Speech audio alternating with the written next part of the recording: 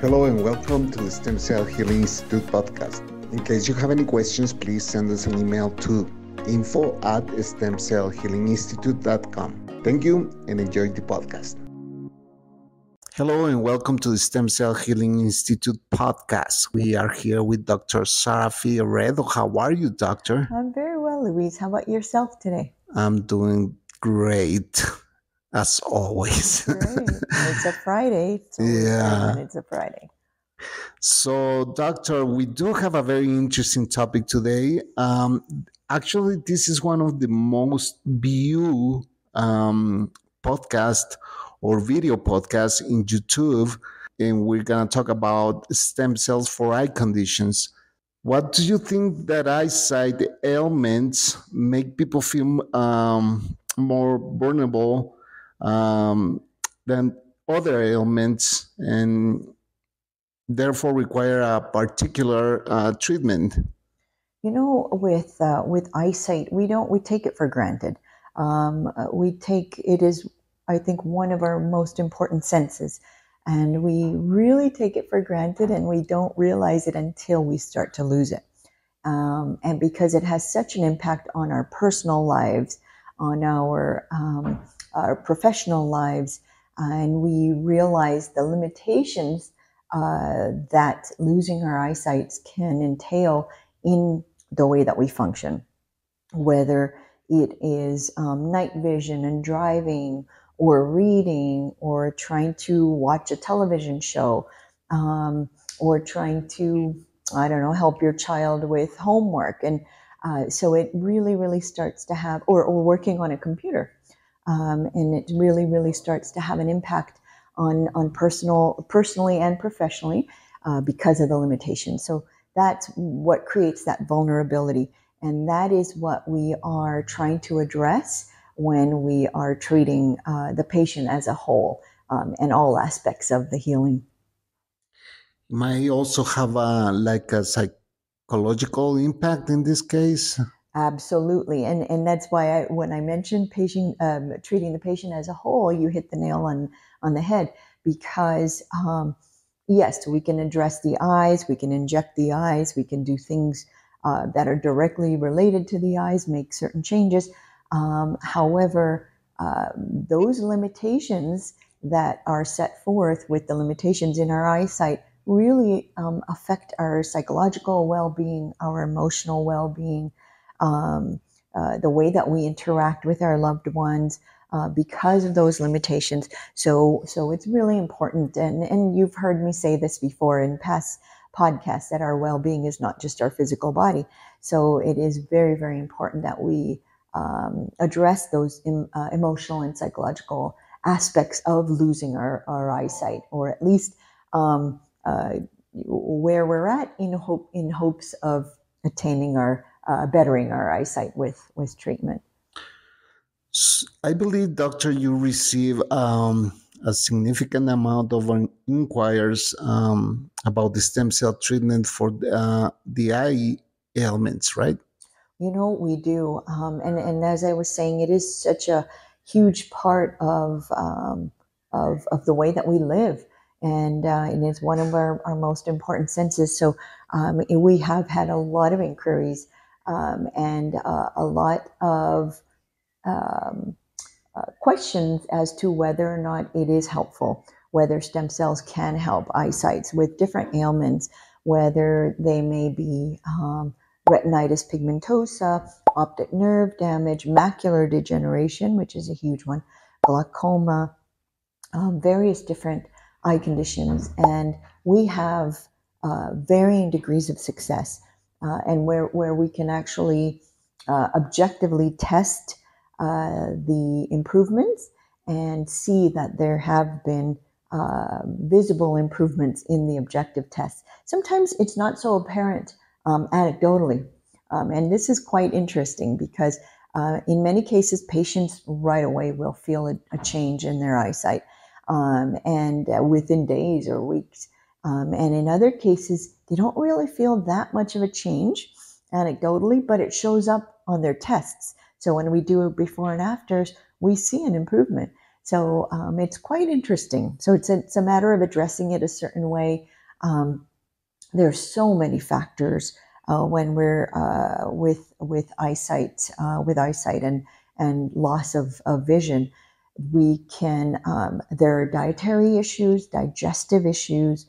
There are um, blood sugar issues. A lot of diabetics um, come to us with uh, optic nerve injury or uh, or glaucoma or macular degeneration.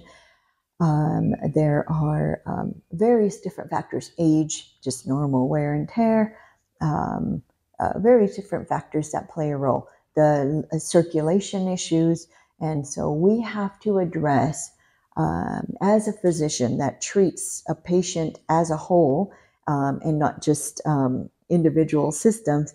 We address all these aspects of wellness, which are so so so important in healing and recuperating the vision.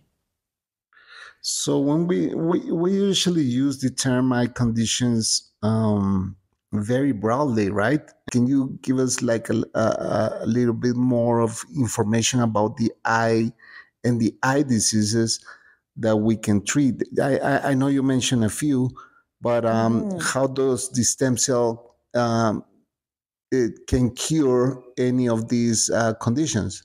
Yes, um, that's a really good question because each eye condition is functioning um, differently in affecting the eye and in affecting the vision. So let's talk about the anatomy really quickly of the eye. We have the cornea, which is the outermost surface, um, the clear surface uh, of the eye. And then we have uh, the lens, which focuses light onto the retina, and it functions very much like the lens of a camera. Then we have the retina itself, which is probably one of the most important structures in the eye. Um, it is very highly um, innervated with nerves, different um, different cells, photoreceptors, lens rods, which are uh, different cells of the eye that um, uh, take in light and affect. Those are the ones that are affected mostly in retinitis pigmentosa and affect night uh, nights and um, night vision and day vision. Uh, and then we have the epithelial layer of the retina, which brings in a lot of nutrients. It's very highly, um, uh, uh, very high in blood vessels. Uh, and, uh, and then we have the optic nerve, which is the main uh, roadway or highway um, connecting the, the eye itself, the retina and, and the back of the eye and the eye itself to the brain uh, which uh, signals um, from the eye to the brain when we're in vision. And so those are the main structures of the eye. And um, so we have the rods and cones, which are photo, photoreceptor cells. Then we have all the nerves. We have all the blood vessels. Um, and, um, and, and in improving vision, we have to address all of these uh, and the wellness of all of these types of cells. So, doctor, why should people be interested in, in treating eye conditions with the stem cells, and especially at the Stem Cell Healing Institute? You know, um, unfortunately, the uh, stem cells can be uh, an end all and be all. Um, the only, uh, the last resort tends to be stem cells. And because stem cells do have a capacity to regenerate the damaged tissue, as I've always said. That is that is the whole goal. And so, in um, with stem cells, our goal is to regenerate the rods and cones uh, that may be damaged, the retina in uh, um, a lot of the eye conditions where the retina is involved, macular degeneration, um, uh, diabetic neuropathies, and, and diabetic eye conditions, optic nerve. Um, what other ones? Uh, the glaucoma as well. And um, what's another major one that we treat? I think I mentioned. So the retinitis pigmentosa, optic nerve damage, uh, cataracts as well, and, and, the damage caused by cataracts and scarring. Uh, macular, I, I, think I mentioned the macular degeneration. Diabetes. One. Oh. Diabetes, yes. So diabetic neuropathy, I feel like I'm, I'm forgetting one. But for the most part, it's about regenerating the neurons, uh, the rods and cells, the photoreceptors, the retina itself, regenerating, regenerating and creating circulation and blood flow, improved blood flow into the eyes uh, to bring in all the nutrients that are necessary. And, um, and then, of course, uh, addressing the whole body and uh, um, dietary factors, sleep and recuperating factors, um, as well as oxygen and detoxifying, and uh, which are all very much addressed in the way that we approach uh, the healing with stem cells at the Stem Cell Healing Institute. So, doctor, are these injections administered directly into the eyes? And do you do it by yourself or do you have uh, someone else uh, giving you a hand? yes, thank you. Um, thank you, Luis. Yes, we have specialists in their uh, respective fields, um, very, very highly regarded ophthalmologists that we work with that will do the injection in the eye. Um, it's not actually directly into the eye. That is really important to be uh, made aware of that it's not directly into the bulbus of the eye. It's actually a retrobulbar injection, which means that it's down and up behind the eye. So it's right next to the eye, right next to the optic nerve, uh, right next to the retina, but not directly, which can possibly do damage. And we do not want to create any risk for the patient whatsoever. So, uh, and when we place the stem cells next to the place of damage, uh, because cytokines are released from damaged cells, and I've spoken about this in the past, um, when there are damaged cells, they break open and release chemical um, chemical messengers, which are uh, inflammatory factors, which signal to the stem cells in the area that hey, this is where the damage is, and this is the cell that has the damage. So those stem cells come to that place of damage and reconstruct. And that's the whole idea and regenerate and lay down new cells and um, uh, basically try to undo as much damage as possible. And so by placing those stem cells right into the area and locally, uh, we're getting the job done. And not only do we place the stem cells next to the eye and behind the eye, as close to the eye as possible, we will also do an IV, uh, intravenous infusion of the stem cells. So the stem cells go everywhere the blood flows, uh, right into the eye as well. And we'll do an intranasal aspiration where the stem cells are uh, deployed like a nose spray um, right next to the eye as well and into the uh, cerebral area and the optic nerve area. So uh, we get uh, we're killing a bunch of birds by doing it this way. I like to say, and so um, my goal, my, my motto is to leave no stones unturned. So anything that will help, we will do it. Doctor, can this avoid surgery? Yes, very much so. Uh, so uh, a lot of our stem cell treatments can avoid surgery. Uh, in many many cases, very often, there one more than one treatment may be required. Uh, we have seen improvement after a few months or a year or so where we get to a certain degree um, and then patients want to see more. So in those cases, uh, uh, patients, in many cases, patients are satisfied uh, after one treatment. In many cases, we need more than one treatment because we haven't got to where we want to be. So um, that's uh, and and we can avoid the need for surgery in in all kinds of stem cell treatments. Downtime, doctor.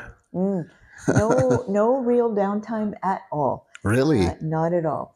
We uh, the because the stem cells are placed behind the eye because we do an IV, uh, we do the intranasal aspiration. They're really it is very very non-invasive. Um, we have seen no downtime whatsoever with our uh, with these procedures for the eye. Like you say, you cover a lot of ground here, and I was wondering if I forgot to ask you anything about this topic? We can probably just touch on the whole uh, comprehensive approach that we uh, that we provide at the Stem Cell Healing Institute. We, um, uh, we I want to remind our listeners and our uh, our viewers that we do a very very comprehensive total detox program before we begin. Uh, that entails a nutritional IV, uh, natural suppositories, and B vitamin shots and then we follow that up with growth hormone therapy, age appropriate growth hormone therapy.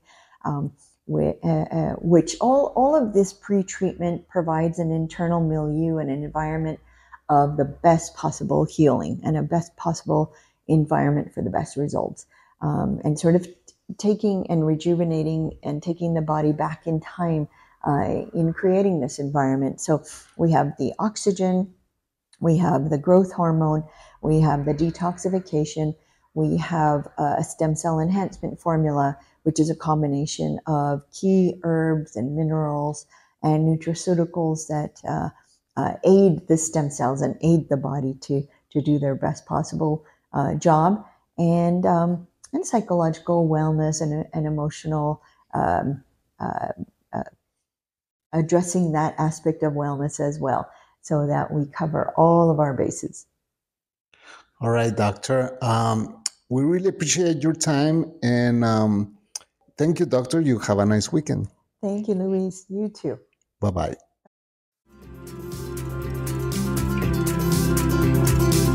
Thank you for listening. In case you have any questions, please visit our website, stemcellhealinginstitute.com or you may send us an email to info at stemcellhealinginstitute.com. If you want to contact us from North America, you may dial plus 1 209 690 7836. If you want to send us a message through WhatsApp, please add us at plus 502 4220 7297. And this is how you find us on our social media on Facebook, Stem Cell Healing Institute, on Instagram, Stem Cell HI, on Spotify, Stem Cell Healing Institute, on YouTube, Stem Cell Healing Institute. We hope to hear from you. Thank you.